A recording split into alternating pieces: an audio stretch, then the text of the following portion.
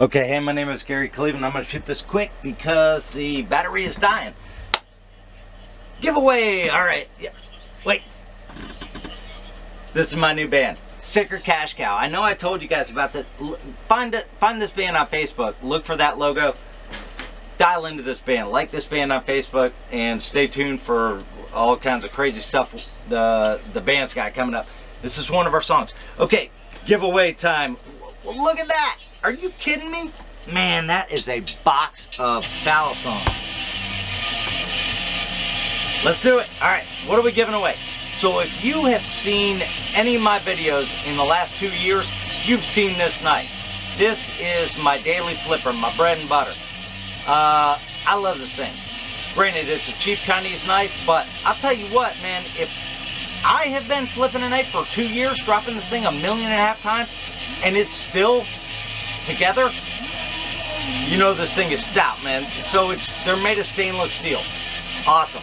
The screws do pop out. Maybe you want to glue them in. The, the little pins in the end. Maybe you got to tape them together. Whatever, man. Whatever. I got this thing dialed exactly how I want it. Now is your chance. These are the exact same knives, but these are brand new, no modification, other than I went through the entire box with my grinder.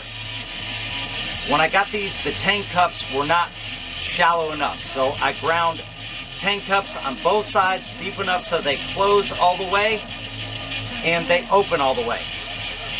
That's all I've done. No other modification. If you win this knife, so I used to sell these exactly like this on eBay.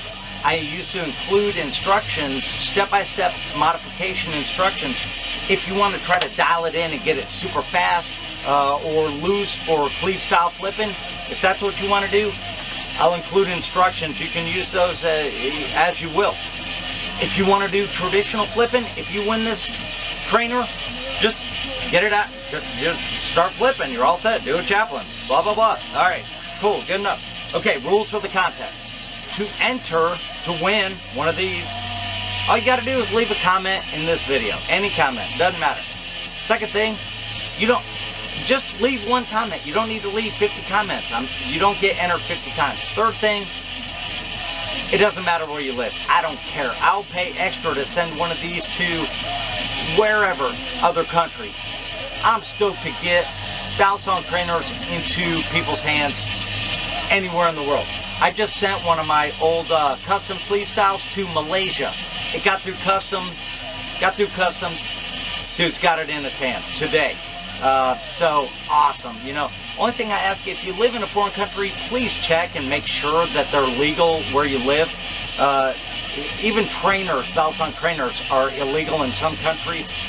Just check. Don't enter to win if it's if it. I main thing I don't want to pay have it shipped to you and then it gets seized by a customs agent and he throws it in the trash.